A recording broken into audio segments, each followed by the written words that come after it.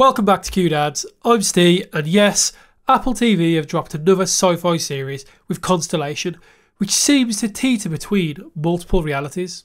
The series follows a Swedish woman, Jo, as she returns from space after an incident, and she sets out to expose the truth about space travel and uncover the missing pieces in her life. I'm going to dive deep into the first three episodes of the show and try to uncover not only what's going on in the episodes, but also my own thoughts about the series because things get confusing pretty quick. At the moment, I'm kind of 50 50, as some scenes make no sense at all and scream out rushed writing, where the other half is deeply invested into finding out what's happening. But is this because it's a good show, or more because I like to challenge my brain? Anyway, let's do a quick recap of all three before diving into some of the big questions, like what caused the collision, what are in the pills, and what seems to be the cause of the show's quantum entanglement. And if you're new here and haven't subscribed, please hit that button as it helps us to grow the channel. The show opens with Jo driving along an icy road with a glowing canister, later to be revealed as the Cal Data Core. There's a lot of mystery as she seems to hear her own daughter, Alice, crying out for her, and the first big question what happened to Daddy? We then jump back five weeks earlier as Alice talks to Jo in space, giving us a quick introduction into the IIS and some of the other cast. The dreaded incident happens, and we get absolute carnage for a few moments as the IIS is breached and Paul is lacerated, as well as being pinned to a wall by flying debris. This then leads to two crazy scenes the first being the amputation and the eventual death of Paul. Houston Station. Operation completed on Paul. And secondly, a spacewalk by Jo. to assess the damage and seeing the lifeless corpse of a 32 year old USSR cosmonaut. It's a buddy! Jo, please confirm. Jo? Now, my first initial thoughts on this was that this must be Irene, but from an alternate reality, which I'll touch on more towards the end, but a scene in episode 3 pretty much solidifies this theory for me. They evacuate the ship and Jo stays behind to fix the Soyuz 1 capsule to return back home. Now, here she has 45 minute intervals to assess and fix the damage, but starts to lose both time and her mind as we slip in and out of different scenes. We end up back on Earth, walking along a corridor before being back on the ship after losing several hours. And finally, we hit back to Earth again, bringing us full circle to the start of the episode. Here, a few details have changed, like the photo on the wall that instead of being some angelic person being carried, is now a demon looking around the room. Does this signify the fact that one reality leads to death? The death of Irene, the death of the poor guy in the convention at episode 3, or even the death of Magnus? As he is nowhere to be seen in this reality. Episode 2 then starts with Jo carrying her daughter across the snow and putting her in a bath to keep warm. She then notices her other daughter, but the same daughter, but not the actual daughter. This is getting really confusing. Alice 1 is in the bath, Alice 2 is in the bed. Jo is confused by what is happening and even questions Alice 2 about being her real daughter. We then flick back to the IIS as Jo continues to fix and replace the batteries, but is interrupted by a hissing noise. This would naturally freak you out in space.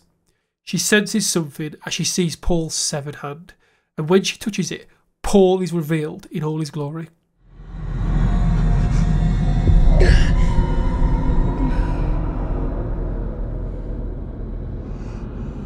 A great detail here is Buddy's giving a press talk, but the funny thing is, he does this with only the top half dressed, like many of us did during COVID. Apple strikes again with these great details. It's also worth mentioning here that he has previous experience bringing back bodies, something about this 1977 space mission. Jo manages to power up the Soyuz 1 and starts to initiate the detachment sequence.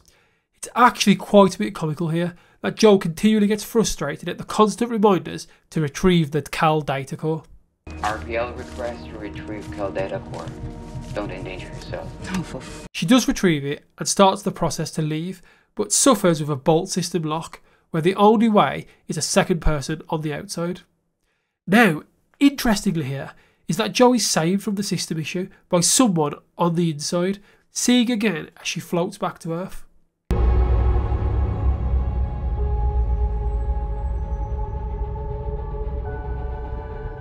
Now, I want to touch on this for a moment.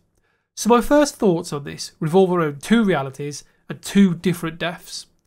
Later on in the episode, we see Jo at Paul's grave, but this then cuts to Paul with a walking stick and flowers, like he's visiting a grave.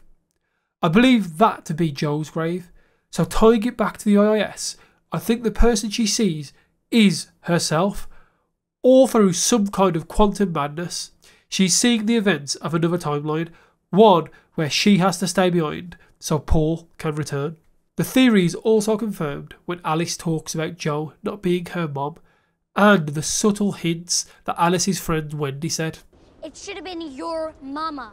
Your mom's a crazy bitch. So, in one reality, Jo died, in one, she survived, but she seems to be able to move through them both. Moving on, the episode ends with Jo landing safely on Earth, and an onslaught of helicopters and trucks go looking for her. Here is one of those 50 50 moments I mentioned at the start, as we see a random coyote approach Jo in the capsule. It made no sense, and I'd rather see the parachute pull the capsule a little more. Episode 3 follows a Hansel and Gretel trail of beads dropped by Alice, which I think hints towards a series of clues that might help Jo find her way back to the right reality later on in the series. We see a press conference where the members of NASA and Roscosmos try to debunk Jo's USSR body theories and claim she saw a garbage bag floating through space, conveniently the same colour as the spacesuits. They are all given some pills and told to take them until further notice. More on this in a moment. We get some awkward dinner moments as the relationship between Magnus and Jo is different. Jo starts to notice things like Alice not understanding Swedish and the colour of the car being different, all signs that something isn't right. There's a tense moment between Bud and the convention guy as he tries to claim he's a liar and doesn't even know the name of his first dog, which also connects to a bigger mystery around the alternate realities. Irene and Henry get it on, and the episode ends with the police heading down an icy road, presumably after Jo for either stealing the Cal Data Core or killing Magnus. Either one I'm fine with. But I want to talk about another scene in the final moments of the episode, and no, it's not the awkward love scene we witnessed.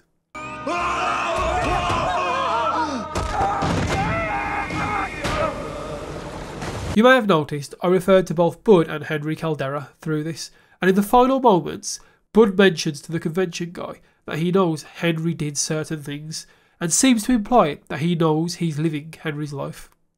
Does this mean that you can cross over realities, like walking across another plane of existence? Or does Harry know he's living a different life? And has this happened because of Irene? I mentioned at the start about the 1977 Apollo mission, does this involve Henry losing Irene and ultimately lead him to swap lives with Bud in a reality where she is alive? Now you're probably screaming at me saying, that's not right. So yes, it could be the fact that the dead cosmonaut is Irene's sister, and Bud and Henry are in the same reality, but no longer on talking terms. But the fact he didn't know his first dog's name and other tidbits, I think that points to another reality. I want to touch briefly for a moment on Alice I don't fully understand why she's affected, as she hasn't gone into space like Bud or Jo, but still appears to have the same effects. Is this due to her connection with her mom, or is there something we're missing? Let me know in the comments your thoughts and theories around why Alice is experiencing the interference. Also, I want to add here what is in those pills? They told Jo and the other astronauts to keep taking them until further notice. Was it just me, or was Bud taking those same pills 50 odd years after his Apollo mission. Why? Is there something in them that causes memory loss, creating the blanks in their mind? Or is it so they can run experiments themselves? Also, what happens to Magnus? I predict Jo kills him. That's it. Now, overall, the three episodes were okay. Yes, there were some questionable moments, like the coyote scene, and even the parenting of Alice. That just seems off. But for the most part, the intrigue of what's going on and trying to unravel the secrets to this quantum entangled madness series and the direction it's heading is keeping me pretty invested. But it's definitely one of those series you need to sit to be fully invested. Me and Ben will be watching the series throughout the next few weeks, giving you our theories and thoughts. But let us know in the comments your thoughts on the series. Does it live up to Apple's latest standards? Why do you think Alice crosses between realities? And do you think Irene is or was the dead cosmonaut? Don't forget to subscribe, hit that like button, and as always, we'll catch you next time with something new.